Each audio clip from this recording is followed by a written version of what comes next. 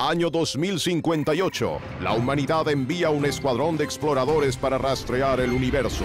Objetivo, contactar con nuevas civilizaciones. Tripulación, los tres seres humanos más preparados de la Tierra. Un futbolista de Arkansas. Una modelo rumana. Y un becario de la NASA mitad coreano, mitad robot.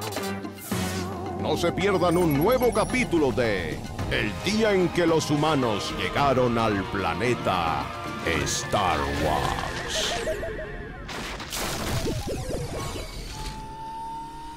Que me parta un rayo si hay vida inteligente en este planeta. ¡Ah! ¿Tienes que tomártelo todo al pie de la letra? Syntax, error, syntax, error, la he cagado.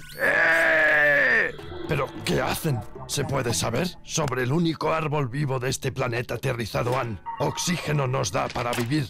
Condenarnos a muerte segura si árbol muere. Eh, no hablar su lengua. eh, civilización humana. A- amigos, venir de la Tierra. ¡Mierda! ¿Ustedes de la Tierra son?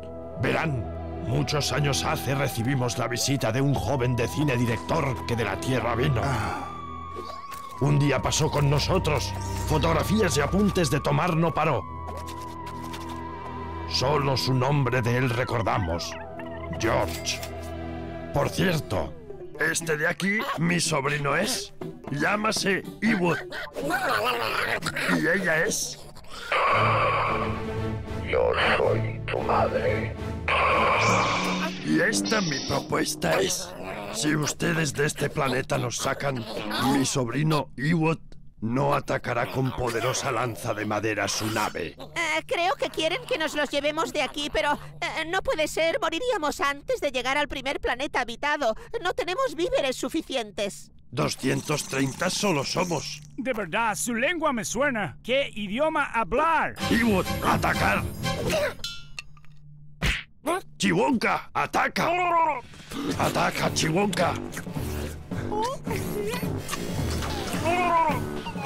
Mamá, algo diles.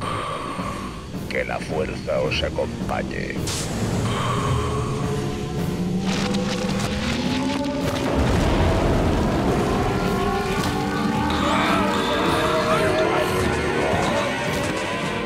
Queridos amigos, no importa, quedan muchos planetas por descubrir, pero eso será en un nuevo episodio. Hasta entonces, que